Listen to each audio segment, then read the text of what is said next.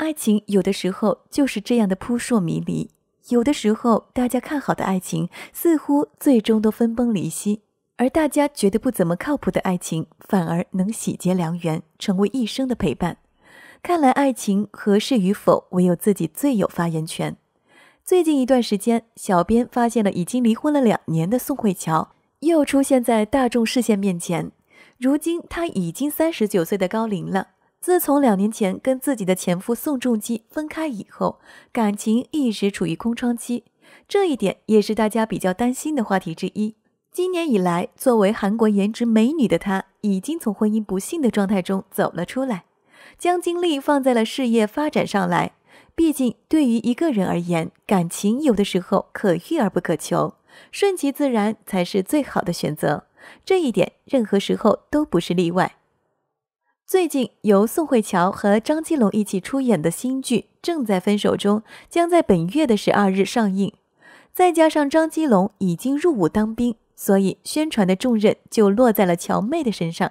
粉丝也觉得很有趣，因为之前宋慧乔的前夫似乎也有这样的情节，这样就成了热点的话题。该剧讲述的是时尚公司 The One 设计组组长何恩引进干练和现实主义的女强人。觉得男人只是刺激自己、给予紧张情绪的东西，并不会认真看待感情且认真付出一切。而当他遇到深受业界欢迎的自由摄影师尹在国之后，与其发生了一段浪漫的姐弟恋邂逅。或许是年龄关系使然，近些年来跟乔妹合作的男神多数都是小鲜肉。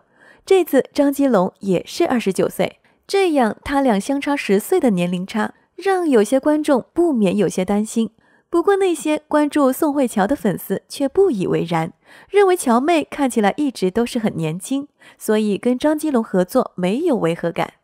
在这之前，宋慧乔和前夫宋仲基也是合作了多年，一起饰演《太阳的后裔》，应联合国之邀。驻扎在奥克首都的联合国维和部队所属部队特战警备队大卫刘时镇和外科医生姜木烟去到战争硝烟弥漫、疾病蔓延的乌鲁克，他们在韩国和派兵地区之间往返相爱，在急迫状况下依然互相关照，一点点靠近。当时该剧上映的时候引起了巨大的轰动，当时成了韩国乃至整个亚洲的一部非常火爆的系列爱情剧。因此，宋慧乔也成了国人所喜欢的艺人，而且宋慧乔和宋仲基也成了神仙眷侣。不少粉丝希望二人能在一起，再续前缘。在二零一九年的时候，相差三岁的这对恋人宣布恋爱结婚，粉丝们再次送上了满满的祝福。而且当时国际巨星章子怡还参加了他俩的婚礼。谁知道结婚两年的时间发生了婚变。至于内情，人们也无法知晓。这次宋慧乔和张基龙合作，人们发现他俩也是最萌的身高差，而且还彼此暗送秋波。小编也希望他俩能擦出火花，你们觉得怎么样？接下来的内容更精彩。宋慧乔、全智贤冻龄女神，新剧上演姐弟恋毫不违和。四十岁还这么美，娱乐圈有时候就这么怪。有的女星三十几岁就演别人的妈妈，有的女星四十几岁了演青春偶像剧。全智贤和宋慧乔就是后者神一般的存在。一九八一年出生的全智贤，今年刚好四十岁。但是从三十二岁的《来自星星的你》到三十四岁的《蓝色大海的传说》，再到现在四十岁的《智异山》，全智贤的脸好像一点都没变。好多人都说全智贤是自己唯一喜欢的韩流明星，大概还得归功于她的纯天然和飒爽气质吧。从最近媒体披露出来的照片和视频来看，四十岁的全智贤仿佛又美出一个新高度，皮肤紧致，身材高挑，气质迷人。最重要的是，女神当年那股天不怕地不怕的气势也还在。所有人都说，这大概就是大家一辈子的野蛮女友吧。说到美貌，十几年如一日的不变，除了全智贤，还有一个宋慧乔。宋慧乔最近马上要播出的爱情剧，现在正在分手中。同样是一九八一年出生，四十岁的宋慧乔在新剧中与小十一岁的张基龙上演姐弟恋。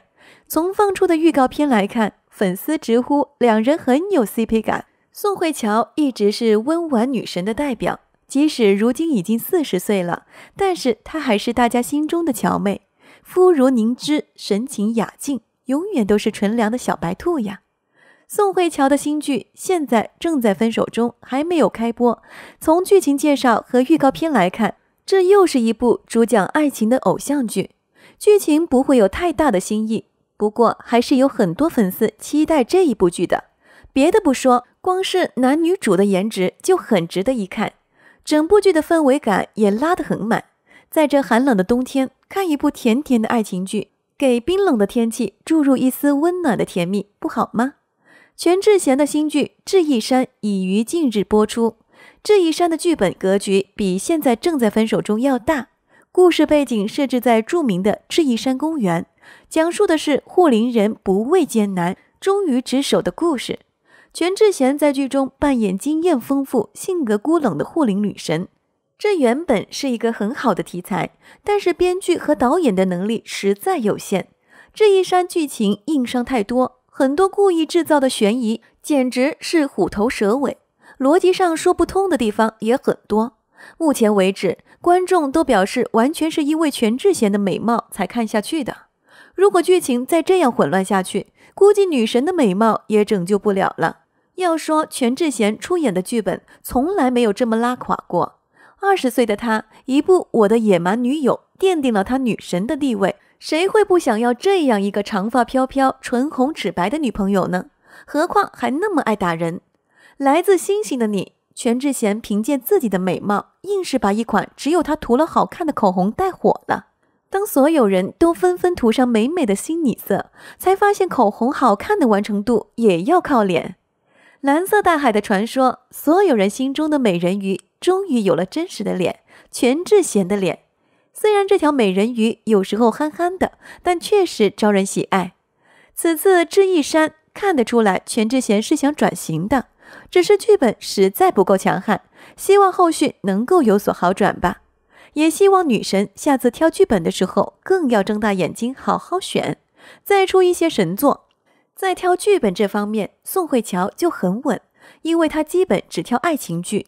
最早的《蓝色生死恋》开启了韩剧的一个新时代，从此韩剧要是不车祸、不生病、不错过，都不叫韩剧了。一部《浪漫满屋》。人们发现，原来不虐的爱情剧也很好看。这种先婚后爱、捆绑情侣的模式，也是后来众多影视剧本模仿的对象。后来的《太阳的后裔》，粉丝们追 CP 从荧幕追到现实，男女主给的糖一颗比一颗甜，当然后来也一颗比一颗苦。不过总的来说，宋慧乔的爱情剧从来没有让粉丝失望过。万年不变的美貌也让她不管与谁搭档都感觉很配。如今四十岁的全智贤已经结婚九年了，她的老公是金融界的才俊，配女神也只能是勉强配得上吧。而四十岁的宋慧乔在经历多次因戏生情，甚至在拍摄《太阳的后裔》与男主宋仲基甜蜜结婚，后来两人又遗憾离婚后，目前处于单身状态。不过，女神有颜有钱，事业还蒸蒸日上，也是让人羡慕了。岁月从不败美人，希望不管多少岁，女神们都能保持优雅的状态，带给大家更多的作品。